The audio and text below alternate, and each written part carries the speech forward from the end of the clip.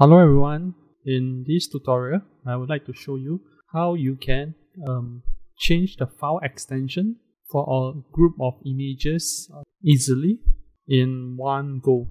Before we start we need to import some uh, libraries so we'll from PIL or from PIL import image and uh, we also be importing OS. So we, we will be creating a list, an empty list and we'll call it images and we'll define a function and we'll call it loop image. So what loop image will be taking in will be directory.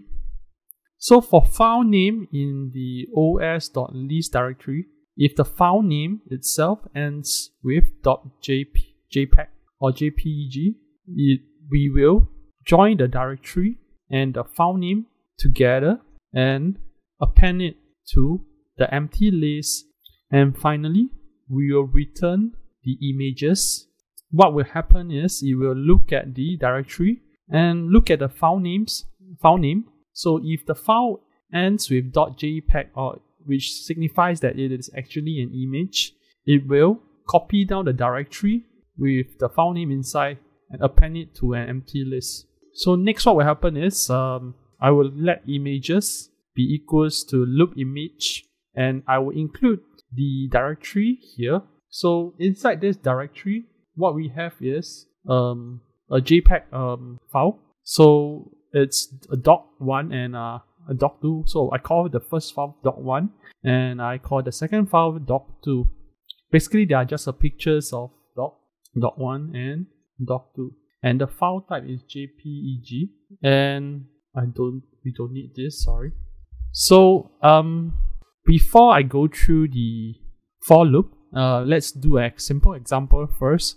So we will open up the image. So we will be opening the image and we we're using image.open and uh, this will be the directory to the image. So we will be using doc2 x for this example and uh, so doc2 refers to this and uh, so Firstly, we would like to split the image by backslash. Splitting the image by backslash, we will have a list. So the list would be in this manner. So another thing to take note is that we will need a double backslash for this to work. Uh, if we are using one backslash, it will not be working and so that's that's the reason why we will need to change the path from one backslash to two backslash for everything.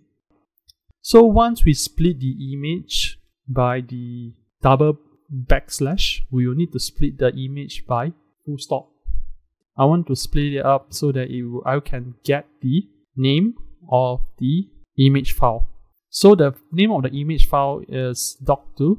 So by doing that, I will be able to get just doc2 and the file extension. And by using minus 1, because when we are counting a list, is goes by 0, 1, 2, 3. So minus 1 actually refers to this doc2.jpg. So by doing splitting the image by a full stop, what we'll get is this. And what we want is we want the file name, which is doc2. So lastly, I will use, uh, sorry. So lastly, I will be using um, im.save bracket r and the extension or the location you want to save the converted file, converted extension file. And then you, for me, at least for me in this tutorial, I want the name or the file name to be the same. And that is why I go through the entire process here. And I will key in the file type that I want to save to. So if we run it this in the for loop, what will happen is this in the end, what we'll get is um, this. So right now we will have JPG, JPG, and uh, JPEG and JPEG files. So we can also choose to change it to PNG. Similarly, what will happen is the same.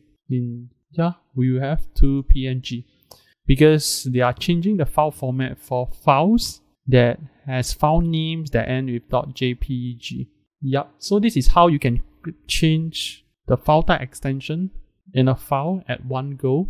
And this is the end of my tutorial.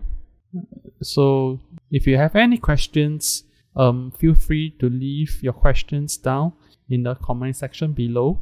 If not, um, thank you for watching and see you next time. Bye.